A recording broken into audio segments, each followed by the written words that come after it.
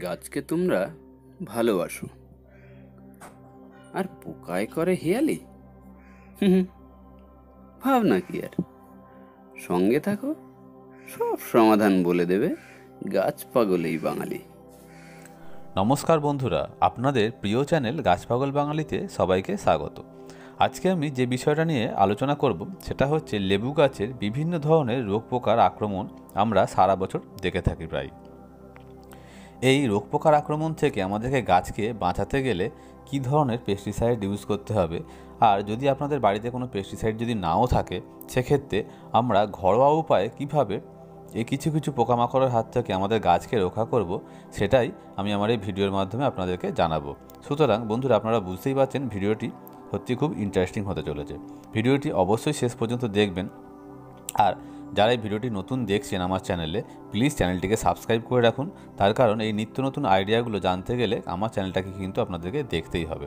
আর যদি ভিডিওটি ভালো লাগে, অবশ্যই লাইক করবেন এবং বন্ধুদের সাথে শেয়ার করবেন।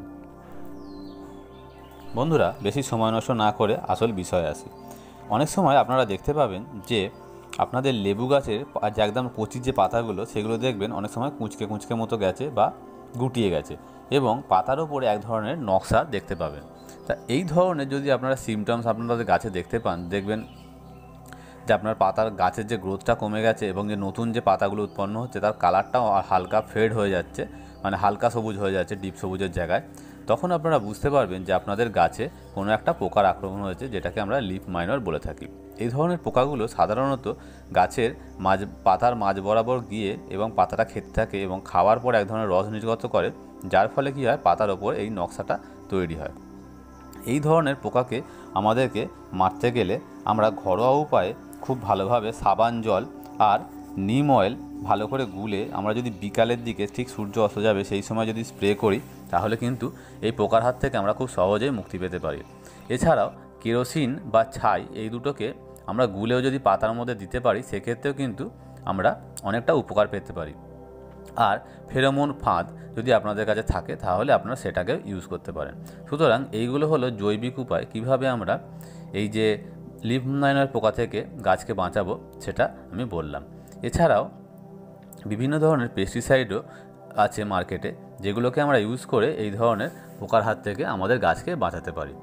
এরকম পেস্টিসাইডের নাম হলো নুভান বলে এক ধরনের পেস্টিসাইড পাওয়া যায় বা টাটামিডা বলেও এক ধরনের পেস্টিসাইড পাওয়া যায় যেগুলো পনেরো ফোঁটা এক লিটার জলে বা কুড়ি ফোঁটা এক লিটার জলে গুলে স্প্রে করলে ভালো এ পাওয়া যায়, উপকার পাওয়া যায়।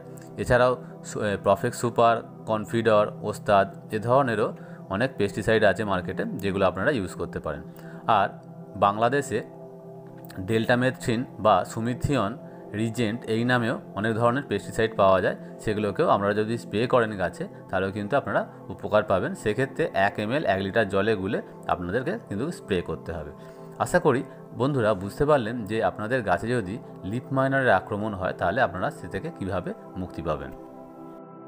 এবার আসি প্রজাপতি পোকার বিষয়। প্রজাপতি পোকা হলো কি? অনেক সময় প্রজাপতির যে লার্ভাগুলো, সেগুলো আমাদের এই যে লেবু গাছের যে কচি কচি যে নতুন পাতাগুলো উৎপন্ন হয়, সেই পাতাগুলো খেয়ে গাছের অনেক ক্ষতি করে। এই গাছে এই পোকা যদি আক্রমণ হয়, দেখবেন যে গাছের যে একদম কচি পাতাগুলো, সেগুলো আস্তে আস্তে নষ্ট করে দিচ্ছে এরা এবং গাছটার গ্রোথটা অনেকটাই কমে যায়। সুতরাং আপনারা ভিডিওতে দেখে আশা করি বুঝতে পারছেন যে এই ধরনের পোকাগুলোকে কীরকম ধরনের দেখতে হয়। তা এই ধরনের পোকাগুলো যদি আপনার কাছে খুব কম পরিমাণে আক্রমণ হয়, সেক্ষেত্রে আপনারা কাজ করতে পারেন। পোকাগুলোকে যদি আপনাদের পক্ষে সম্ভব হয়, ধরে আপনাদের গাছ থেকে সরিয়ে অন্য জায়গায় দূরে কোথাও ফেলে দিয়ে চলে আসতে পারেন। সেক্ষেত্রে কিন্তু আপনাদের গাছটা ক্ষেত্রে বেশি ক্ষতি হবে না। তখন এই গাছের, এই যে পোকাগুলো এটা শুধু গাছের পাতাই খায়, আর বিশেষ কিছু ক্ষতি করে না। কিন্তু যদি আপনার গাছে প্রচুর আক্রমণ হয়, সেক্ষেত্রে এই পদ্ধতিটা আপনারা ইউজ করতে পারবেন না। সেক্ষেত্রে আপনারা যেটা করতে পারবেন, সেটা হচ্ছে আপনাকে কোনো কেমিক্যাল পেস্টিসাইড বা রাসায়নিক যে পেস্টিসাইডগুলো পাওয়া যায়, সেগুলো আপনাদের স্প্রে করতে হবে। যেটা ইন্ডিয়াতে নুভান বা হামলা নামে পাওয়া যায়, সেটাকে এক- এম এল এক লিটার জলে গুলে আপনাদেরকে কাছে স্প্রে করতে হবে এবং কচি পাতাগুলোতে অবশ্যই স্প্রে করবেন। কারণ এই ধরনের পোকাগুলো কচি পাতা খেতে বেশি পছন্দ করে। আর বাংলাদেশে এটা সাইপারমেথ্রিন গ্রুপের যে কোনো পেস্টিসাইড আপনারা স্প্রে করতে পারেন। অ্যাগ্রোমেথ্রিন বলে একটা পেস্টিসাইড পাওয়া যায় বা ক্যারেটে বলে ক্যারাটে বলে একটা পেস্টিসাইড পাওয়া যায়, যেগুলোকে এক এম এল এক লিটার জলে গুলে আপনারা স্প্রে করতে পারেন। সুমিথিয়ান বলে একটা পেস্টিসাইড আছে, সেটাকেও আপনারা ইউজ করতে পারেন। আশা করি বন্ধুরা আমি বোঝাতে পারলাম যে প্রজাপতি পোকা থেকে আপনারা কীভাবে মুক্তি পাবেন। এছাড়াও, বন্ধুরা, লাল মাকড়ের আক্রমণেও কিন্তু আমাদের এই লেবু গাছে কিন্তু প্রচুর ক্ষতি করতে পারে। সেক্ষেত্রে কি হয়, পাতাটা কুঁকড়ে কুঁকড়ে মতো যায়। আপনাদের এই যে লাল লাল মাকড় আর লিফ মাইনরের আক্রমণের যে ডিফারেন্স সেটা হচ্ছে দু ক্ষেত্রেই পাতাটা কুঁকড়ে যায়, কিন্তু লিফ মাইন্ডারের ক্ষেত্রে কিন্তু পাতায় নকশাটা দেখা যায়। সুতরাং আপনাদের গাছে যদি দেখেন পাতা কুঁকড়ে গেছে, কিন্তু কোনো নকশা নেই, তাহলে আপনারা বুঝবেন যে এটা কোনো একটা মাকড়ের আক্রমণ। সেক্ষেত্রে আপনারা ডাইরেক্ট রাসায়নিক উপায় ইউজ করতে পারেন, কারণ জৈবিক উপায়ে খুব বেশি রেজাল্ট ভালো পাওয়া যায় না এক্ষেত্রে। সুতরাং লাল মাকড়ের জন্য আপনারা ওমাইটস বলে এক ধরনের মাকড়নাশক পাওয়া যায় ইন্ডিয়াতে বা সব জায়গাতেই পাওয়া যায় এটা। আপনারা সেটা ইউজ করতে পারেন গাছে এক এম এল এক লিটার জলে গুলে স্প্রে করে দেবেন। এছাড়া বাংলাদেশে ভাটিম্যাক অর ইকোম্যাক নামে পেস্টিসাইড পাওয়া যায়, সেটা এক এম এল এক লিটার জলে গুলে আপনারা স্প্রে করতে পারেন। তাহলে আপনারা এই লাল মাকড়ের হাত থেকে মুক্তি পেতে পারবেন। বন্ধুরা আর একটা খুব কমন রোগ, যেটা প্রায় সব লেবু গাছের ক্ষেত্রে দেখা যায়, সেটা হচ্ছে ক্যানকার। এটা এক ধরনের ছত্রাক ছত্রাকের আক্রমণে এই ধরনের রোগটা দেখা যায়। দেখবেন যে আপনাদের পাতা যে আছে, পাতাগুলো মাঝখানে মাঝখানে একটা খয়েরি কালারের দাগ দেখা যায় এবং ওই খয়েরি কালারের দাগকে ঘিরে একটা হলুদ কালারের দাগ দেখা যায় এবং এটা আস্তে আস্তে গোটা গাছে প্রায় ছড়িয়ে যায় এবং গাছটার কিন্তু ভালো রকমেরই ক্ষতি করে। সুতরাং এরম ধরনের যদি আক্রমণ আপনার গাছের পাতায় দেখতে পান বা ফলে দেখতে পান, তাহলে আপনারা বুঝবেন যে আপনার গাছটা এই রোগে আক্রান্ত হয়েছে। সুতরাং আপনাদেরকে কোনো একটা ছত্রাকনাশক গাছে প্রয়োগ করতে হবে। কপার জাতীয় ছত্রাকনাশক যদি আপনারা গাছে প্রয়োগ করতে পারেন, এক্ষেত্রে সবথেকে ভালো রেজাল্ট পাওয়া যায়। যেমন, copper oxychloride two M L এক লিটার জলে গুলে আপনাদেরকে সাত দিন ছাড়া ছাড়া গাছের পাতায় ভালো করে স্প্রে করতে হবে, ওপরে এবং নিচে। আর বাংলাদেশে চ্যাম্পিয়ন সালফক্স অর কুপ্রোভিট এই তিন ধর তিনটে কম্পোজিশন পাওয়া যায়, সেগুলোকেও আপনারা ইউজ করতে পারেন। এক এম এক লিটার, দুই এম এক লিটার জলে গুলে আপনারা স্প্রে করবেন। তাহলে এই ধরনের ছত্রাকের আক্রমণ থেকে আপনারা গাছকে বাঁচাতে পারবেন।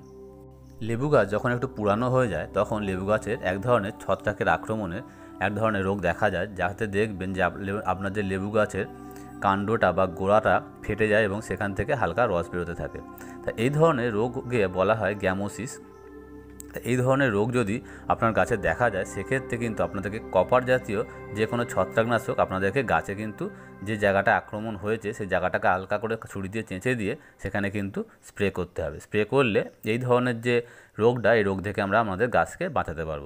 সুতরাং বন্ধুরা, আমি আমার এই ভিডিওর মাধ্যমে বোঝাতে চেষ্টা করলাম যে আমরা লেবু গাছে কী কী ধরনের পোকামাকড়ে বা ছত্রাকের আক্রমণ হতে পারে এবং তা থেকে আমরা আমাদের গাছে কীভাবে বাঁচিয়ে ফলন বৃদ্ধি করতে পারব। সেটা আমি আমার এই ভিডিওর মাধ্যমে আপনাদেরকে জানালাম। যদি আপনাদের এই ভিডিওটি ভালো লাগে অবশ্যই শেয়ার করবেন। আর ভিডিওটিকে শেষ পর্যন্ত দেখার জন্য ধন্যবাদ।